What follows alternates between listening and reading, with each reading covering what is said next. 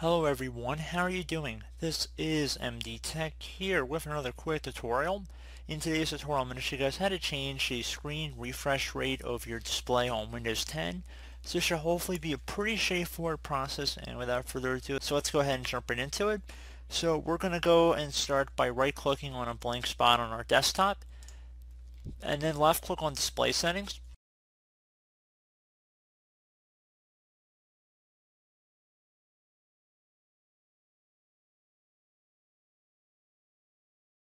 Left click on display on the left side if it's not already selected and then scroll down on the right until you find advanced display settings.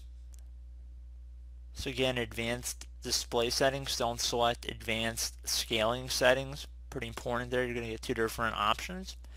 So once you're on here you want to select display adapter properties for whatever display is here. Go ahead and left click on that. Again make sure you're selecting the correct display. There's a drop down if you have multiple displays on your computer.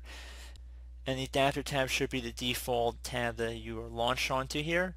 And you want to go left click on where it says list all modes at the bottom left and now at this point you would be able to select from the list different refresh rates you want to go with. Again everything is measured in hertz so you can go play around with that in there. Would suggest that you take note of whatever the one you currently are using. So at this point you go ahead and select whichever mode you want to change it to. You can play around with the settings in there and it should be pretty straightforward. Just click on OK once you made your change and that should be about it.